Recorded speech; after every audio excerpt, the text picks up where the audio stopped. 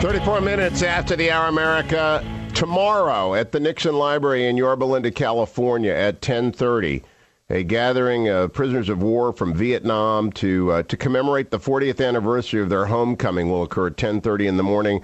The uh, former POWs were welcomed at the uh, uh, Nixon Library yesterday and earlier this week. And joining me now is Colonel Lee Ellis, of course, Colonel Ellis is the author of Leading with Honor. He's been a leadership consultant, but he spent five years in the Hanoi Hilton after flying more than 50 combat missions over Vietnam. Colonel Ellis, welcome. A great honor to talk to you. How was yesterday's reception at the Nixon Library?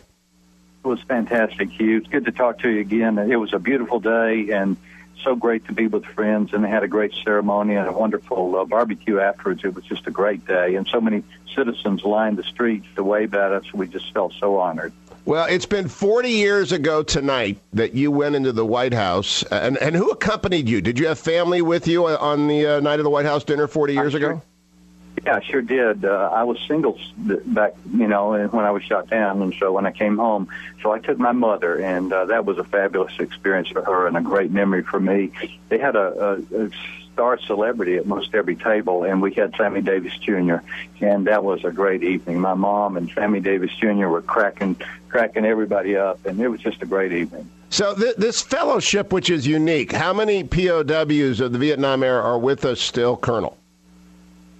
About 400 out of about 525. So well, that's remarkable. About 20 percent. And, and, of those uh, 400, how many gathered at the library this week? About 200 a year. A lot of them are just so old they can't travel, and some just uh, don't stay don't stay engaged in these kind of things. But we have a great turnout, and a lot of them brought uh, family, uh, kids, and grandkids. Well, I'm glad that, that the library organized this, and I'll bet you not many people realize this Memorial Day weekend marks the 40th anniversary of the return of the POW. So, uh, uh, give people a, a, quick thumbnail, if you will, Colonel, of the conditions of your imprisonment when you were shot down in the years that you were in uh, Vietnam. Sure. Well, it took me two weeks to get to Hanoi, and that was an exciting time because the local population tried to kill me three times, and fortunately, the militia had strict orders to bring the PO, the pilots especially, to bring us in alive that were captured over the north. I was bombed in Straits three times by American Air Power. Of course, they didn't know I was there on the ground, but uh, was able to get in bomb shelters and whatever. But once I got to the Hanoi Hilton, I went in a cell that was six and a half by seven feet not very big, uh, with three other guys.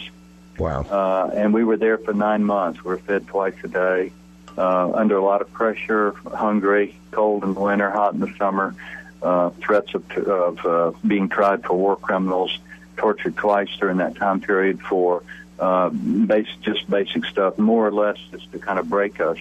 Uh, then they started trying to get propaganda out of us, and that came and went from time to time. So it was always a battle for the first three, three and a half years we were there.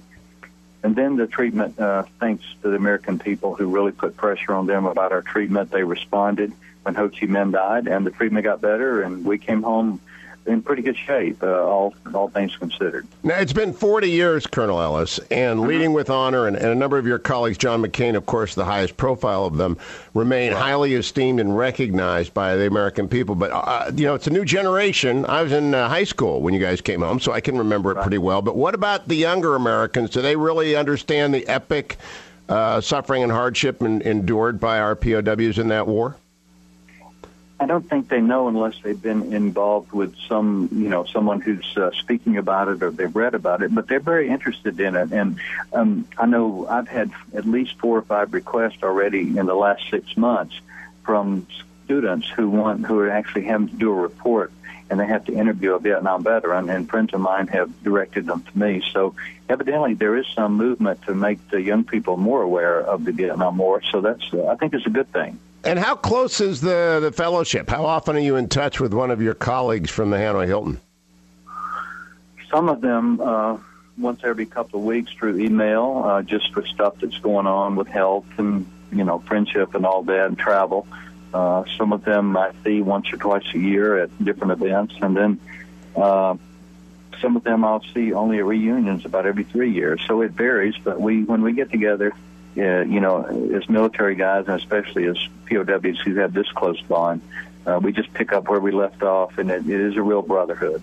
Well, Colonel Ellis, uh, thank you again for your service on this Memorial Day weekend. The book is Leading with Honor, and tomorrow morning, uh, America, if you go anywhere in Southern California, you can meet five of the heroes of that area uh, who are, uh, and there'll be other ones at the Nixon Library as well. It gets underway at 10:30 in the morning, including Commander Everett Alvarez and Lieutenant Colonel Tom Hanton.